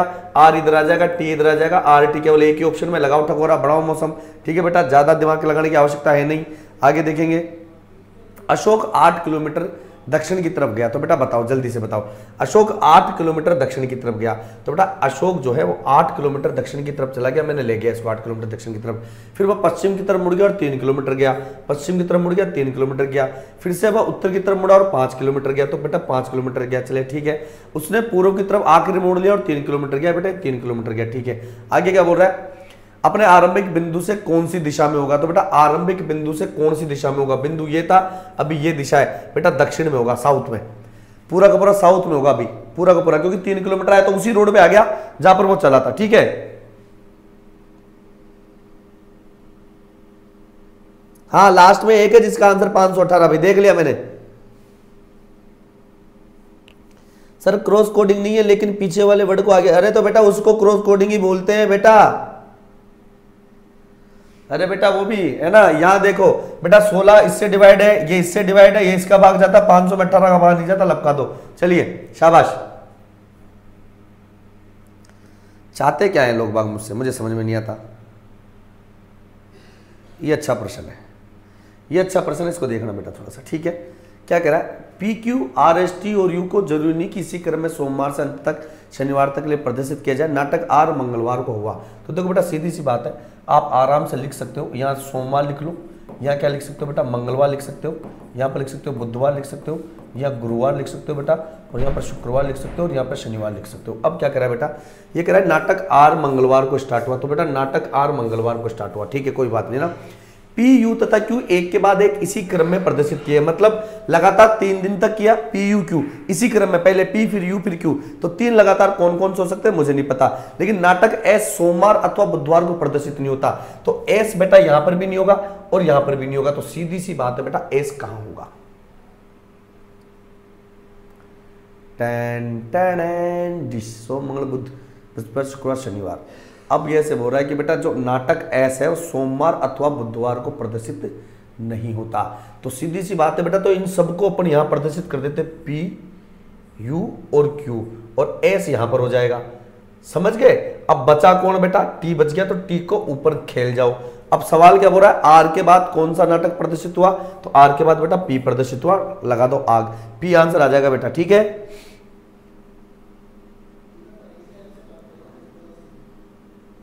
सर, सभी आपको लाइक करते हैं और कुछ नहीं। अच्छा मेरे को लाइक करते और कुछ नहीं। मतलब मैं समझा नहीं, गुंजा, क्या चाहती है तू? क्या बोल गई?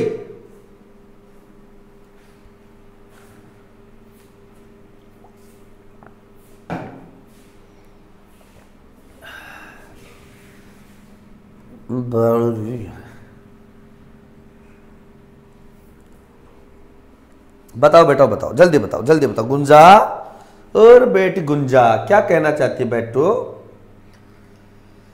मोना और सोना।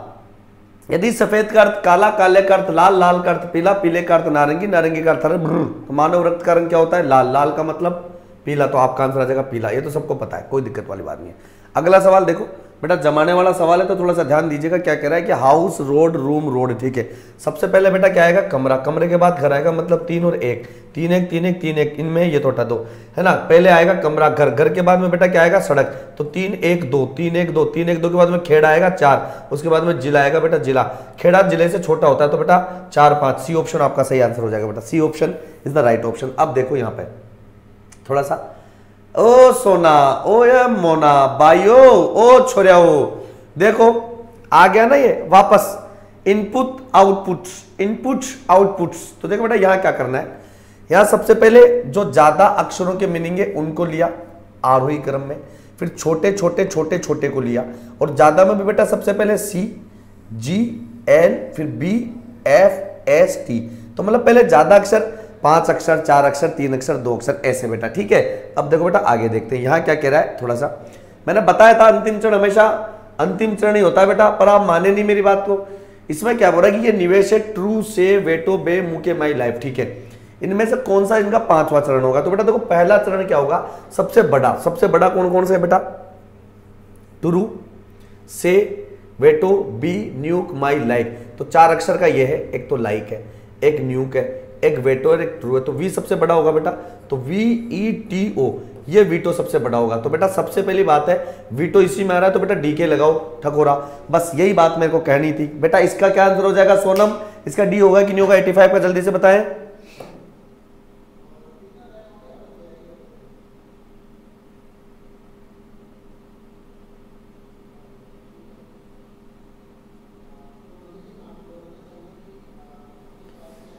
शाबाश शाबाश शाबाश। लगातार इसको शेयर करते रहो सेशन को।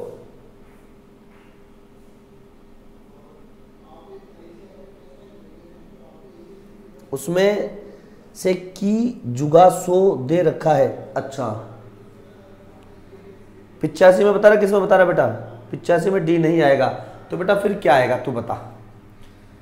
कौन सा चरण चौथा होगा? तो चौथा चरण कौन सा होगा बेटा? देखो, सबसे पहले चार चार चार अक्षर के अपन लेंगे। चार अक्षर का मैं लूँगा तो बेटा चार अक्षर का वीटो आ जाएगा। वीटो के बाद में दूसरा चरण बेटा टी आएगा और न्यूक आ जाएगा। ठीक है? तो ट्रुक तो हो गया, ये ट्रुक तो ये हो गया, ये तो दूसरा चरण ये तो एजेटी है। वीटो गया, ट्रू नहीं आ जाएगा, ये पहले नंबर पे आएगा, इसके बाद में बेटा न्यू का आएगा, ये दूसरे नंबर पे आएगा। ठीक है? ठीक है बेटा, अब देखो लायक आ जाएगा तीसरे नंबर पे आ जाएगा। अब चौथा चरण कौन सा होगा? चौथा चरण कौन सा हो जाएगा बेटा? ये देखो, दो अक्षर का, दो अक्षर का, दो अक्षर का। तो बेटा सबसे पहले तो तीसरा चरण ही हो गया। चौथा चरण तो होगा ही नहीं इसमें ना?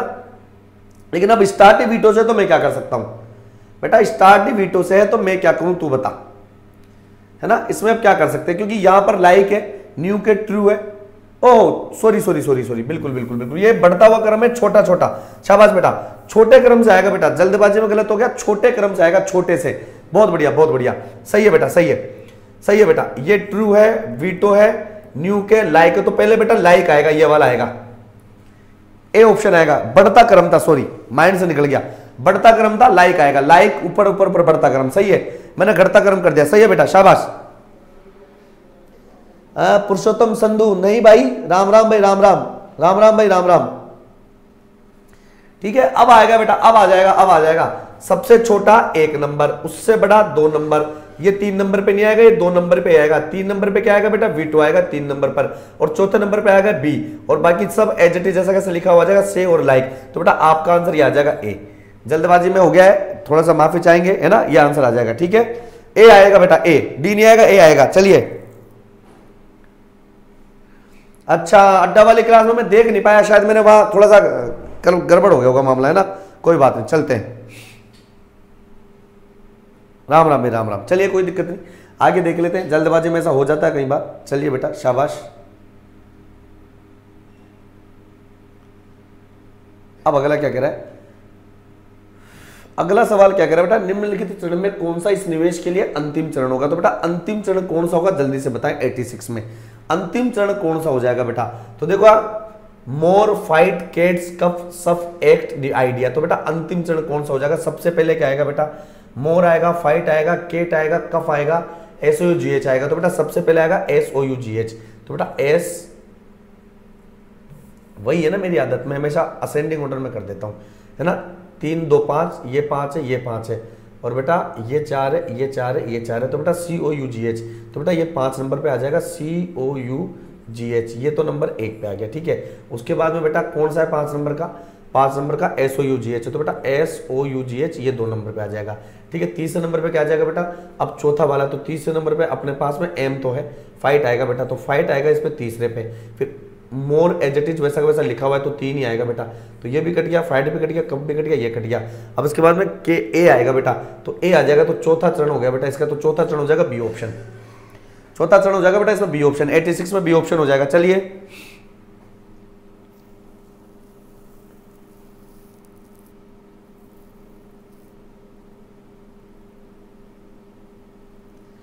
अच्छा बिल्कुल बेटा, मैंने पेपर नहीं देखा बेटा उसमें।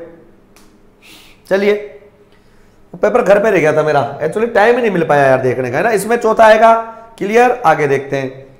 ये क्या कह रहा है यदि किसी निवेश का दूसरा चरण है क्लेवर रिमेंड विंडो सेल्स बेच टाइगर तो इसका छठा चरण कौन सा हो जाएगा? देखो बेटा, सबसे बड़ी बात है क्लेवर और रिमेंड तो बेटा क्लेवर रिमेंड क्लेवर रिमेंड लो भाई, छठा चरण होगा कि नहीं होगा, पहले तो ये देखो। शायद इसमें मैंने ये करवाया था। इसका छठा चरण नहीं हो सकता, देख लेते हैं कि बेटा क्लेवर है, पहला आंसर देखो, है ना? ये रहा। इसमें क्लेवर है, पहला आ जाएगा रिमेंड आ जाएगा बेटा, दूसरा आ जाएगा ना? अब इससे जस्ट बड़ा आ जाएगा, तीसरा। तो बेटा देखो, ये निवेश हो गया क्लेवर आ गया है रिमेंड आ गया, ये दूसरा चरण है। अब विंडो सेल्स बेच तो बेटा रिमेंड्स के बाद में विंडो तो आएगा ही आएगा तो ये तो तीसरा चरण होगा, दूसरे में आ जाएगा। अब विंडो के बाद में कौन सा आ जाएगा बेटा? B A T C H E sell tiger never तो बेटा यहाँ पर ये कौन सा चरण आ जाएगा? ये दूसरा आ जाएगा, देखो। रिमाइंड कट के क्लेवर कट गया, ये कट गया, ये कट गया। अब इसके बाद में क्या बचा? इसके बाद में बचा बैच तो बेटा बैच मैंने लिख दिया एज इट इज़ तीसरा चरण। अब सेल्स टाइगर और नेवर बचा। तो बेटा, अब नेवर आएगा। तो बेटा नेवर आएगा ना? यहाँ पे देखो नेवर तो नेवर आ जाएगा। बेच से ऊपर क्या होगा?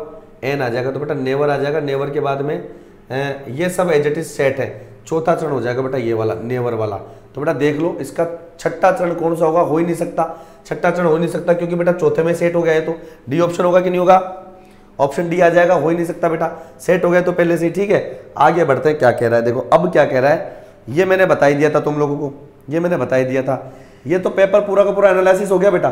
कोई दिक्कत? ये तो पेपर पूरा का पूरा एनालिसिस कर लिया बेटा। कोई दिक्कत यहाँ से? चले।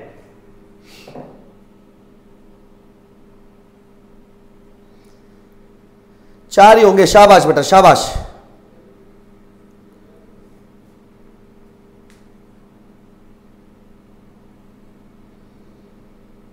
हाँ भाई, महेश रागर बात कर रहा हूँ बेटा, क्या बात करनी है बताओ?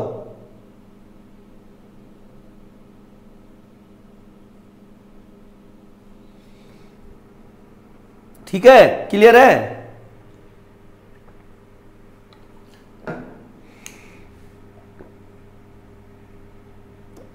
अगले सवाल की बात करते हैं।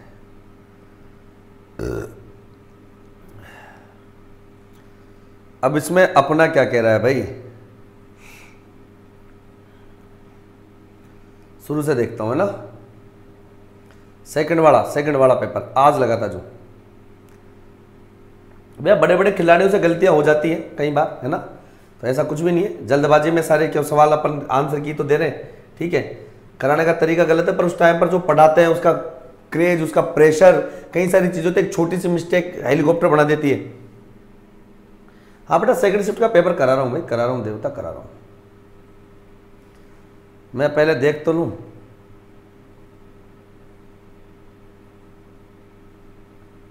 रीजनिंग कहाँ से स्टार्ट है इसमें?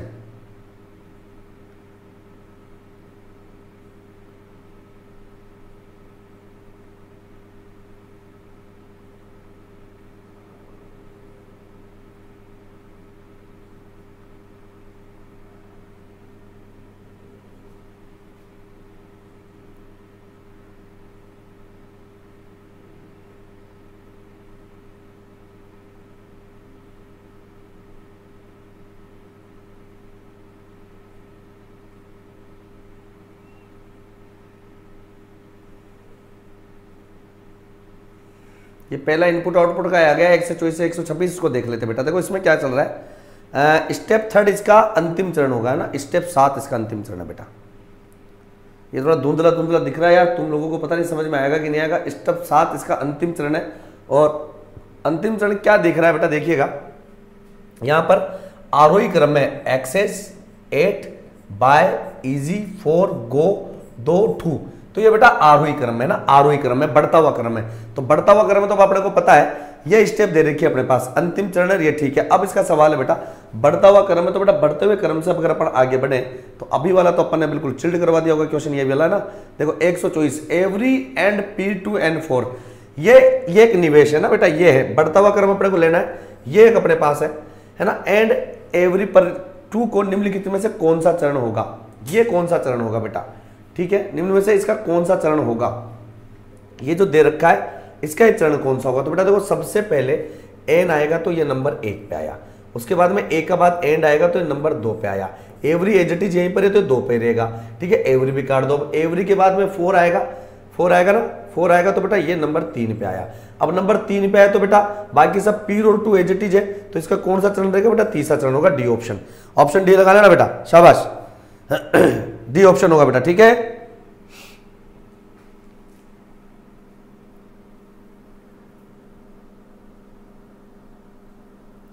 चलिए। ठीक है बेटा, ओके, आगे देखते हैं, अगला सवाल क्या कह रहा है, देखिएगा। Together over series on fast so निम्न चरण में से अंतिम से पहला चरण कौन सा होगा? अंतिम से पहला चरण पूछा बेटा तो पहला चरण कौन सा होगा? तो बेटा तो बेटा, सबसे पहले तो देखो इसमें सबसे छोटा वाला कौन सा है। Over series on fist. तो बेटा, सबसे पहले कौन सा होगा? फिस्ट होगा कि नहीं होगा? देखो एफ़ आएगा कि नहीं आएगा? तो बेटा, सबसे पहले आएगा एफ़। तो मैं यहाँ पे लिख दूँगा F E S T fist पहला। इसको काट डाला। फिस्ट के बाद में बेटा, जस्ट बड़ा क्या होगा? फिस्ट से बड़ा एस ओ ओ तो ओ आएगा तो ओ एन आएगा कि ओवर आएगा तो ओ एन आएगा। तो बेटा सेकंड नंबर पे आ गया ये वाला, और थर्ड नंबर पे आ गया बेटा क्या? ओवर तो ओ डब्ल्यू ई आर ये थर्ड नंबर पे आ गया ओवर भी कट गया, ठीक है? अब अपन बात करते हैं बेटा फोर्थ नंबर की। ओ से जस्ट बड़ा कौन सा है? एस है। तो एस आ जाएगा बेटा एस ई आएगा तो बेटा सबसे बड़ा ये आ जाएगा सीरीज़ तो बेटा फोर्थ नंबर पे आ गया, ठीक है? फोर्थ नंबर के बाद में बेटा क्या बचेगा? सो बचेगा। तो बेटा यहाँ पर मैंने सो लगा दिया तो ये आ गया पाँचवें नंबर का, ठीक है? अब बच गया क्या बेटा? T O T H E तो अब टी एच ई आ जाएगा तो बेटा छट्टा आ जाएगा टी एच ई और टूगेदर बच गया। तो बेटा छट्टा होगा, इनमें से कोई नहीं आएगा। चलिए देखो। सही है क्या? इसमें से कौन सा हो जाएगा? जल्दी बताओ। दोबारा करके देख लेते हैं एक बार थोड़ी सी जल्दबाजी में। कई बार क्या ये छोटे छोटे शब्द नहीं दिखते यार वर्ड में। सबसे बड़ी बात है बेटा फिस्ट आएगा तो मैंने लिखा F E S T first number एक पर, ठीक है? फिस्ट को काट डाला। फिस्ट से जस्ट बड़ा कौन सा आएगा बेटा? ओवर ओन तो ओन आ जाएगा तो बेटा यहाँ पर ओन आ जाएगा, ये नंबर दो पर। और अंतिम से पहले वाला पूछा है तो बेटा पांचवा आएगा, सीधी सी बात है। छह में सेट हो रहा है, अंतिम से पहले वाला पूछा तो पाँच आएगा। लगाओ टकोरा, पाँच आएगा, बिल्कुल पक्का बेटा। पाँच आएगा, कोई दिक्कत नहीं है। ठीक है, पाँच आएगा बेटा इसका ना फिफ्थ ऑप्शन ध्यान दीजिएगा, कोई दिक्कत वाली बात नहीं है। ओवर को fourth row and which over को ठीक है. उपरोक्त निवेश का अंतिम चरण कौन सा होगा? अब इसका अंतिम चरण पूछा तो बेटा, इसका अंतिम चरण क्या होगा? तो सबसे पहले अपन क्या लेंगे बेटा? एट लेंगे. तो बेटा सबसे पहले मैंने एट ले लिया नंबर एक. एट के बाद में क्या आएगा बेटा? एट के बाद में एफ़ ओ आर आएगा. तो एफ़ आर नंबर दो पे आ गया. उसके बाद में बेटा क्या आएगा? गो आएगा। तो बेटा गो नंबर तीन पे आ गया, ठीक है? उसके बाद में बेटा क्या आएगा? ओवर आएगा या वन आएगा वन आ जाएगा। तो ये नंबर चार पे आ जाएगा। बाकी ओवर और थ्रो एजेटिज आ जाएगा तो नंबर चार पर अटक गई गाड़ी। तो गड़ी गाड़ी नंबर चार पर। इनमें से कोई नहीं नंबर चार। इनमें से कोई नहीं बेटा नंबर चार आ जाएगा, ठीक है? अगले पे बात करेंगे, अगला क्वेश्चन क्या कह रहा है? देखिए बेटा। उच्च न्यायालय, आगे देखते हैं। कलाकार ताजमहल, इंडिया गेट, नालंदा।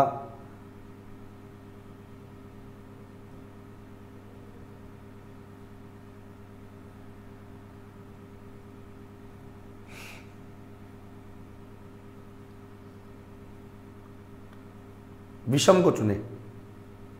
ये आ गया। विषम को चुने, बेटा, यहाँ पर क्या होगा देखिएगा।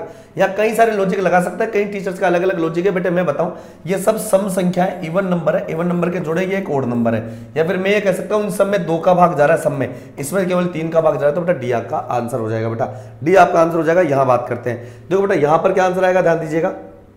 यहाँ पे क्या है, एक और पाँच में कितने का अंतर है? चार का। इधर कितने का? छह का। इधर आठ का। इधर दस का अंतर आ जाएगा, पंद्रह। पंद्रह का मतलब ओ। डी ऑप्शन आपका यहाँ पर हो जाएगा, ठीक है? आगे बात करें बेटा तो देखिए प्रश्न चिन्ह के स्थान पर क्या आएगा। तो बाबू ने चिन्ह के स्थान पर आ जाएगा, यहाँ पर देखो ए बी सी सी तो आ गया। अब उसके बाद में डब्लू आ जाएगा। क्यों आ जाएगा? बेटा माइनस एक और माइनस दो चल रहा है। फिर माइनस एक चल रहा है, फिर माइनस दो चल रहा है। तो डब्लू आ जाएगा सी डब्ल्यू यहाँ पर। इजी वे में कोई दिक्कत नहीं बेटा। आगे चलेंगे अगले प्रश्न की तरफ़। गुड को एक्सलेंट बोला जाता है। तो बेटा यहाँ पर क्या है बेटा? गुड को एक्सलेंट बोला जाता है। यहाँ पर एक पेपर था। जिसमें क्या लिखा हुआ था बेटा, पहाड़ी का क्या आ जाएगा? पर्वत हो जाएगा। यानी गुड से बढ़ रहा है तो पहाड़ी से पर्वत भी ऊंचाइयों पे जा रहा है तो पहाड़ी और पर्वत आपका ऑप्शन होगा। इसमें आप लोगों ने देखा होगा बेटा, ठीक है? है ना? ये रहा, एक क्वेश्चन ऊपर कहाँ गया बेटा? वो देख लेंगे, कौन सा क्वेश्चन गया? करा दिया मैंने इसमें ना? आगे बढ़ते बेटा। आगे क्या कह रहा है? निम्न में से स्थापित जैवमंडल जैवमंडल, उत्तर प्रदेश उत्तर प्रदेश, सुमेलित सुमेलित सुमेलित सुमेलित हेलीकॉप्टर डॉक्टर आ गया बेटा, डॉक्टर। देखो बेटा, जिस प्रकार डॉक्टर स्टेथोस्कोप का प्रयोग करता है, उसी प्रकार क्या होता है बेटा?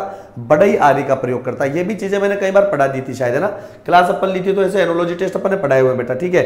आगे बात करेंगे बेटा, आगे बात करेंगे। इनमें से पूछेगा कि बेटा, अलग कौन सा है? तो देखो बेटा, अंतर की बात है। यहाँ पर आएगा प्लस एक और यहाँ पर आएगा माइनस एक। इधर क्या जाएगा बेटा? प्लस माइनस दो माइनस दो। माइनस एक और माइनस एक आ रहा है। इधर ना? इधर माइनस दो माइनस दो, इधर माइनस एक माइनस एक माइनस एक माइनस एक तो बी ऑप्शन माइनस टू वाला हो जाएगा बेटा। अगला क्या वन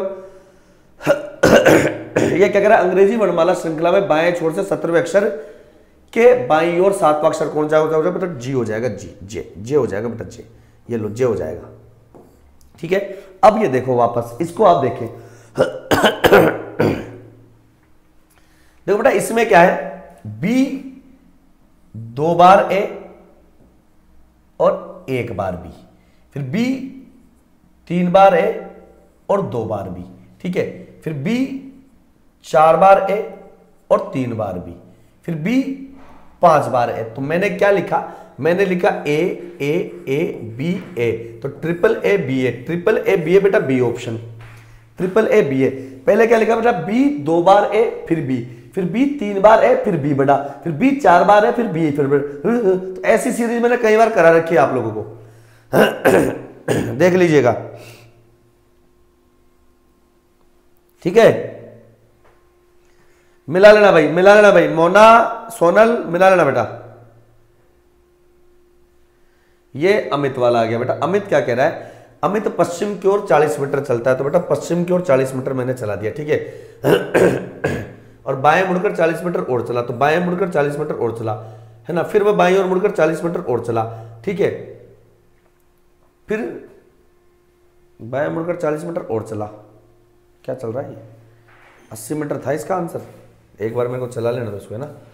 पश्चिम की ओर 40 मीटर चला। तो बेटा 40 मीटर मैंने पश्चिम की ओर चला। अब बाएँ मुड़कर 40 मीटर और चला। एंटी क्लॉकवाइज 40 मीटर चला। फिर बाई ओर मुड़ा 40 मीटर चला। फिर बाई ओर मुड़ा 40 मीटर चला। फिर दोबारा से दाहिनी ओर मुड़ा और 40 मीटर चला, ये रहा। तो बेटा ये 40 ये 40 80 मीटर। 80 मीटर इसका आंसर आ गया।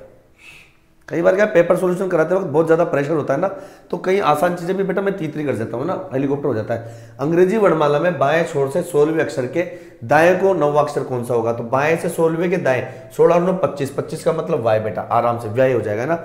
आगे क्या बोला बेटा इसमें? एक लड़के की ओर इशारा करते हुए नर्मदा ने कहा, देखो बहुत प्यारा सवाल है। नर्मदा ने कहा कि वह मेरे दादाजी की इकलौती संतान। तो उसके दादाजी की इकलौती संतान वो खुद या उसका भाई, ठीक है? संतान, वो मेरा बंद कर दिया था लैपटॉप मेरा जो लैपटॉप था जो। है ना? वो या तो मैंने नर्मदा ने कहा वो मेरे दादाजी की संतान का पुत्र है। तो वह लड़का उससे किस प्रकार संबंधित होगा? तो वो लड़का उसका किस प्रकार संबंधित होगा? तो बेटा देखिएगा, इनमें से कोई नहीं आएगा कि भाई आएगा कि क्या आएगा? तो बेटा देखिए एक लड़के की ओर इशारा करते हुए कहा कि नर्मदा ने कहा, मेरे दादाजी की इकलौती संतान का पुत्र है। तो दादाजी की इकलौती संतान मेरा बाप, मेरा पिता, उसका पुत्र तो मेरा भाई लगेगा। तो लड़का उससे किस प्रकार संबंधित होगा बेटा? भाई हो जाएगा, ठीक है?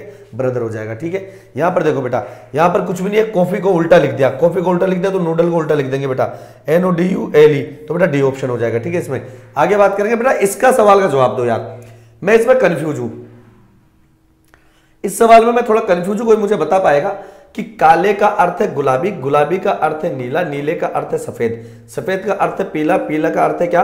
लाल। और लाल का अर्थ है भूरा। तो साफ़ आसमान का रंग क्या होता है? देखो बेटा, अगर मैंने साफ़ आसमान बिल्कुल पूरा नीला माना तो नीले का अर्थ बता रहा है, क्या बता रहा सफ़ेद। सफ़ेद यहाँ पर ऑप्शन में नहीं है तो साफ़ आसमान नीला नहीं हो सकता। अगर मैं साफ़ आसमान सफ़ेद मान लेता हूँ, सफ़ेद मान लेता हूँ तो सफ़ेद का अर्थ है पीला। पीला ऑप्शन में नहीं है तो बेटा पीला भी ऑप्शन में नहीं है।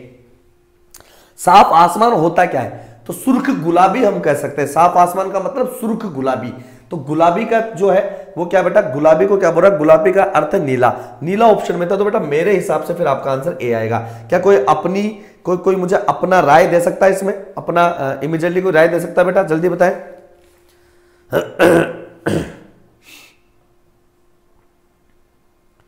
क्या कोई अपनी राय मुझे दे सकता है भाई?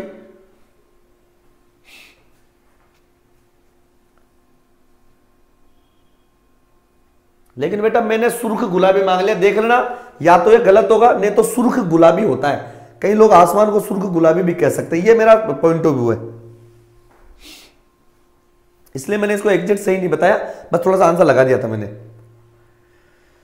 ये क्या कह रहा है बेटा? इस सवाल का आंसर देखिएगा, ये ऐसे कह रहा है दैनिक रोज चौथा ऑप्शन दैनिक के बाद वीकली पांचवा ऑप्शन चार पाँच तो चार पाँच एक ये लगा दो ए ऑप्शन कोई दिक्कत नहीं बेटा ऑप्शन ए लगा दो। ठीक है, आ गया। आगे देखो। कहीं कुछ दिख रहा है बेटा ये मैं बताया था आप लोगों को, याद हो तो मैंने एक बार पढ़ाया वो भी है। बारह बंदर, ये रीजनिंग का मान लो, मैं तो रीजनिंग बारह बंदर बारह मिनट में बारह केले खाते हैं। बारह बंदर बारह मिनट में बारह केले खाते हैं। तो चार बंदर कितने मिनट में चार केले खाएँगे? चार से चार कट गया, बारह से बारह कट गया, बारह मिनट के अंदर। इसका बारह हो जाएगा बेटा।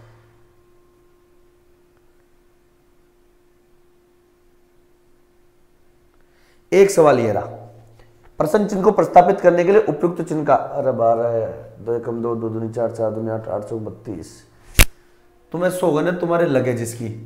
तुम्हें सौगन है तुम्हारे लगेज की। बेटा, मुझे एक बात बताओ, क्या तुम्हारे भाई ने तुम लोगों को जब जब इस धरती पर सीरीज़ पढ़ाया था, जब जब तुमको इस धरती पर सीरीज़ पढ़ाया था, यह सवाल पढ़ाया था कि नहीं पढ़ाया था? सच बताओ।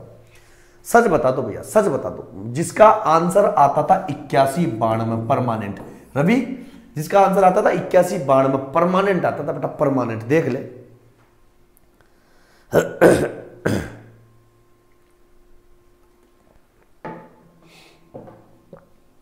देख लो, ये मैंने पढ़ाया था आपको।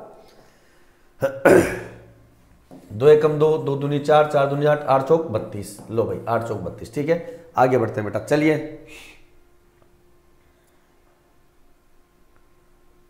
टाटा की कार्ड। मैग्नेटिक।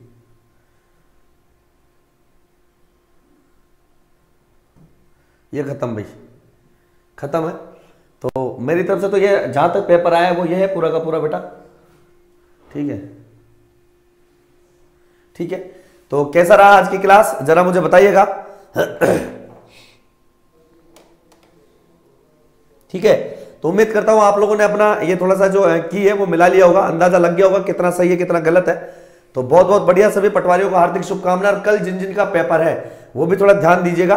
कल भी अपन इस पेपर का एनालिसिस करेंगे, दोनों शिफ्टों का है ना? तब तक के लिए शुक्रिया, धन्यवाद। जय हिंद, जय भारत। बने रहिएगा मैक्सिमम शेयर कीजिएगा दोस्तों। Love you too thank you Ram Ram